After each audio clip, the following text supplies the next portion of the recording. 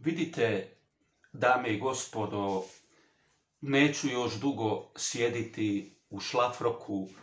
To je sad takva situacija, znate da sam teško stradao, znate da me primila depra i znate da se nisam smio previše kretati. Moram se pohvaliti vama koji me volite, da mi je bolje, da mi ruka prolazi, da me manje pegla depra, jer znate kako je, kad lupite glavom o zid, snažno, pegla vas depra, to je nužna stvar. Reći ću vam još jednom, pazite na sebe vi starci.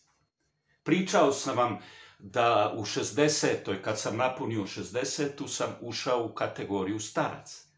I ja moram paziti što radim. Neću vam sad pokazivati, tu mi je na stolu lijevo od mene, morao bi tu se malo krebečit, ne da mi se to. Dakle, jedite kvalitetne, dobre stvari koje nisu skupe. U trgovinskom centru sam kupio, odnosno ne ja, nego moja supruga, jabuke na akciji, e, breskve na akciji, e, grožđe na akciji, sladoled na akciji. To je krasna energetska bomba. Narežete na kockice i zalijete sladoledom, čekate da se malo otopi i jedete. To je bitno, to je nužno za nas u nekim godinama. Ja priznajem, kad sam bio mlad, kao i svaki mlad čovjek, plesao sam po noćnim klubovima, bančio po birtijama i nisam mislio da će jednoga dana doći situacija da moram paziti na sebe. E vidite, ja ću vas učiti u emisiji Putešestvije Gordana Stojića kako da živite bolje i kvalitetnije. Dakle, učit ću vas kako da jedete fino, a da pri tome možete biti i sirotinja. Ne kažem, možda ima i sirotinje takve da je jeli poderana, gladna i tako dalje, ali normalni ljudi, prosječni ljudi, ljudi poput mene, koji godinama ne rade i tako dalje, moraju se snalaziti. I ja ću vam dati pojedine recepte gdje ćete, jeli, vi moći jeftinije proći. Ali morate se i potruditi vi. Morate obilaziti trgovinske centre i morate gledati gdje su akcije. Evo ja sam pojeo sve breskve. A breskve su mi jako zahvalne upravo za tu jutarnju energetsku bombu. Pa ćemo sad ići po trgovinskim centrima tražiti breskve. Vrlo jednostavno, ako nađem grožđe, grožđani šećer je strašna stvar. Tako da vam velim, te putešestvije će sve nas nečemu naučiti. Što se tiče temeljne teme, jel? Opet ću govoriti o Trumpu, zato što je njegov potencijalni atentator doveden na sud. Što smo doznali? Da je to čovjek koji je 13 sati u grmlju pored golfi igrališta koje sam, niko nije napisao jasno, ali po svojoj prilici je to privatno Trumpovo igralište i tu je i nekakav restoran. On je znao da Trump igra golf i da je opsjednut golfom i on je 13 sati u grmlju sjedio sa nelegalnom puškom i nekakvim ciljnikom, jel? I možda bi i uspio u svojoj namjeri, da ga nisu spazili tajni špijuni, zapucali na njega, pa je pobjegao u nekakvom automobilu, onda se ispostavilo da i taj automobil ukrade. Onda se ispostavilo, što još? Da ima deset prijava najmanje kaznenih protiv njega. Da su mu upadali na imanje u Americi policajci, da su mu našli oružje, metke i tako dalje, ali Amerika je nekakva čudna, prokleta zemlja gdje vlada kult oružja i gdje nitko nije našao za shodno da ga strpa u zatvor. On je dobio nekakve te mm, kazne, ovo, ono, e, pušten i doviđenja. Dakle, previše devijanata. Ja neću reći da u Hrvatskoj nema devijanata. Svako malo dogodi se neki strahobalni incident. Pa evo, neki dan je nekakav luđak spalio dvije kuće, ubo nožem policajca i tako dalje, bruka i sramota. Vi ne možete nikad predvidjeti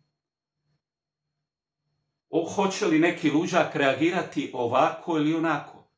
Bilo je slučajeva raznih. Vi znate da sam ja radio rekonstrukcije zločina i pohvalit ću se još jednom, premda će moji neprijatelji dobiti čir na želucu, da je to najgledanija emisija u povijesti Hrvatske. Vidio sam 47 sudskih dosjeja i 47 izvještaja sudskih vještaka psihijatara. I slažem se sa ovim Ljubom Pavasovićem, koji mi nije baš simpatičan lik.